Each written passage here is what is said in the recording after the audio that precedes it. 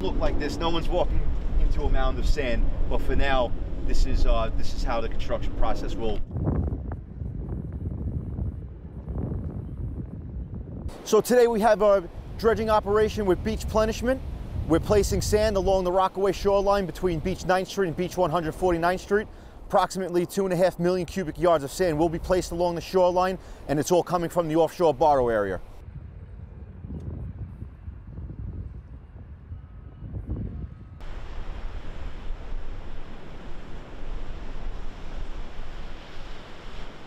The sand is hydraulically placed with the Dredge Illinois. That's a cutter suction dredge. It's a 30 inch cutter suction dredge.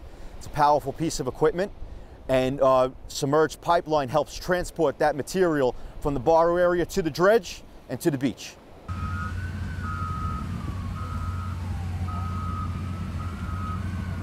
And I never looked. I never looked, but I don't think that's the right suspension. Hey, uh, if nothing else, I think uh, you guys got Yeah, Hurricane Sandy uh, absolutely demolished uh, the Rockaways uh, between flooding, uh, eroding the beach. They originally they had a wooden boardwalk that was just torn to pieces. So it really it, impacted. It impacted the locals, their, their daily lifestyles. It affected their homes. It affected their businesses, and just their natural way of living. So Sandy, like like most along the northeastern shoreline, it was a devastating moment.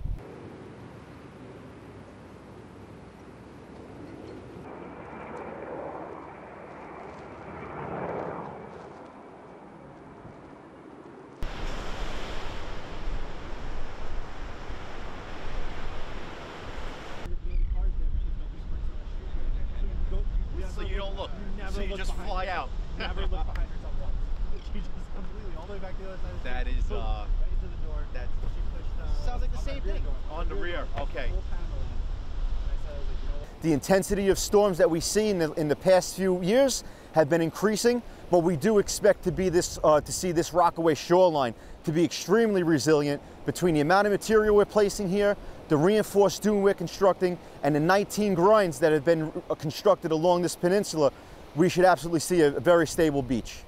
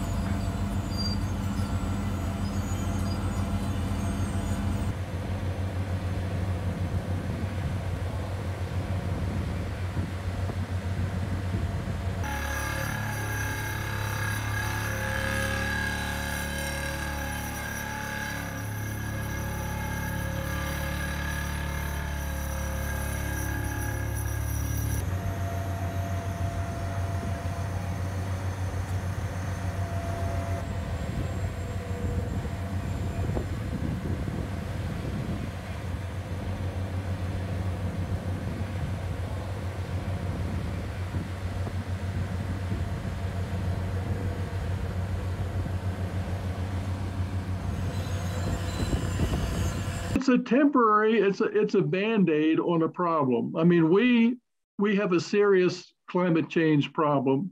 Uh, we're, we're going to get and are getting more intense storms. We are getting, and, and it's going to get much worse, accelerated sea level rise.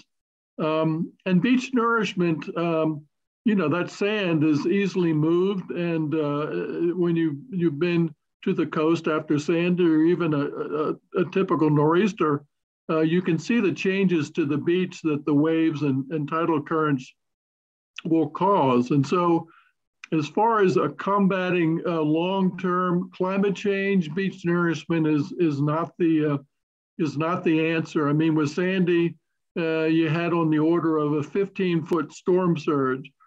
Well, I can guarantee that Rockaway is, was underwater uh, during during Sandy, and that's what we're looking at in the future.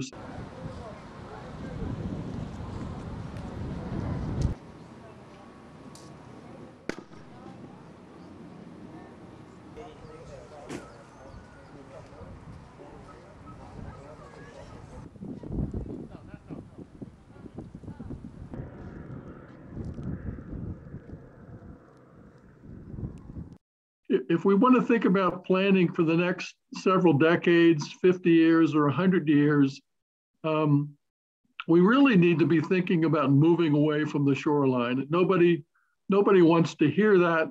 And as far as uh, as long as we have the Corps willing to put hundreds of millions of dollars of taxpayer public money into beach nourishment, and FEMA has a, a flood insurance program that repays people uh, when their houses are damaged during storms, um, you know, there's not a whole lot of incentive for people to move away.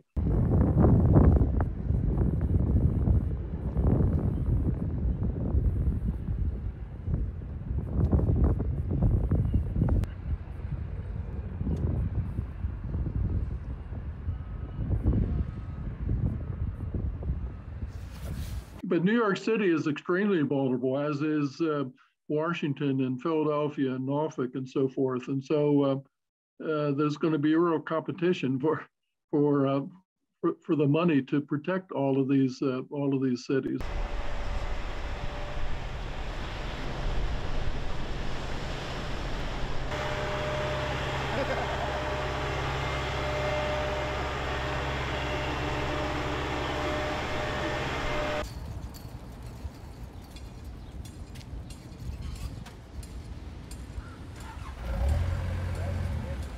The UN Environment Program today released a report which says that sand must be recognized as a strategic resource, and its extraction and use needs to be rethought. UNEP said that sand is the world's second most exploited resource, with 50 billion tons of sand and gravel being used each year. The report warns that extracting sand from rivers and coastal or marine ecosystems can lead to erosion, salination of aquifers, loss of protection against storm surges, and impact on biodiversity.